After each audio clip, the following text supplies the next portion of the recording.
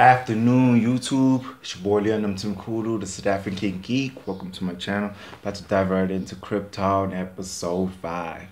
This is a great episode. Really dawned on the House of Zod. Zod. My bad, I don't know why I said Zod.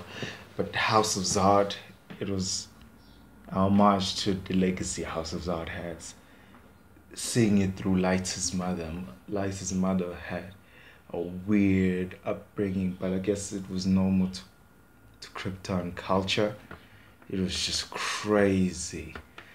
Let's talk about also uh, Seg going through this whole survival thing, the whole episode, running to that girl he saved.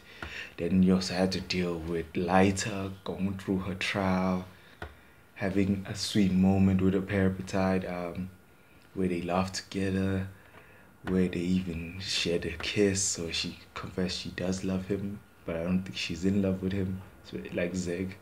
Um, uh, we also got a moment with Adam Strange and Seg's friend. I have to learn that dude's name. They also had a moment where they were looking for Seg. Like time was of the essence with it.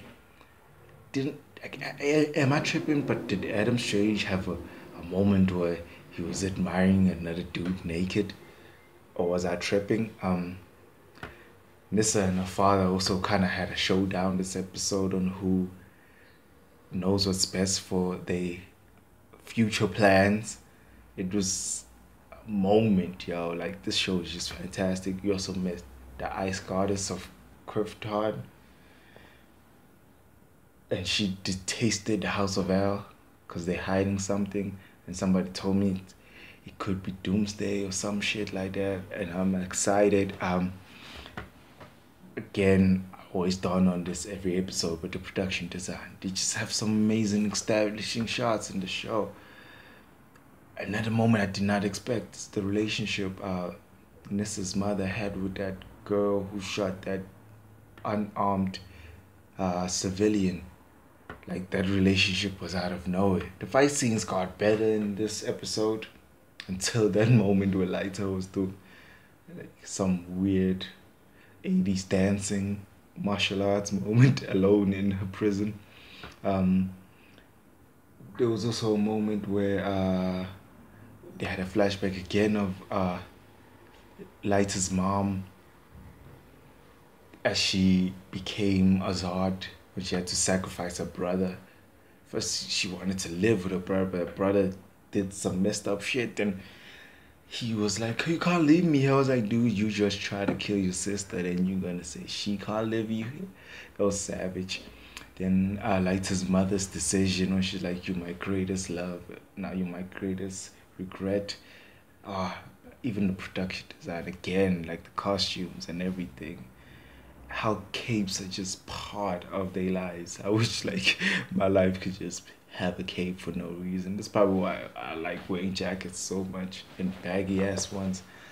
Mm, what else happened in this episode? Uh, Lyta got free because of his her mother helping her. Let's talk about Lyta's mother's father. That dude was savage. He, one of his children didn't come back home, and it's like, huh?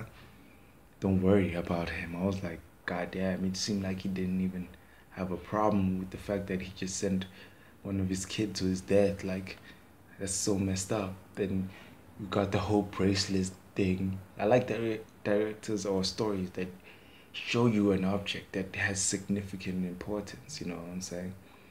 Uh, what else happens? Um,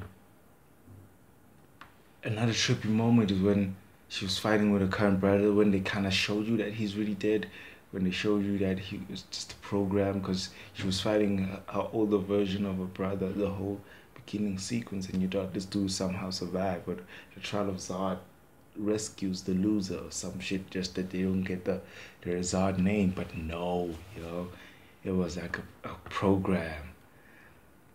Seg almost died. He got rescued uh, by the Black Order dude who happened to be Lyta's fucking son. Yo, that was the most trippy moment out of the whole episode, actually. It's like, it's you. I'm your son. I was like, what? What? I wonder how that's gonna happen and I'm about to react to the promo for the next episode to see how they're gonna down on the next episode. So just gonna dive right in. Um, yeah. Key moment in history. General Zod, Superman's greatest enemy. We need to kill him now. It's General The whole Zod. time you knew it, you said nothing! You cannot trust this man! You still have no idea about the society you helped your father create and your true place within it. People of Kandor, I am here to save you. Oh. The only way to fight Brainiac is with a is unkillable. It is Doomsday.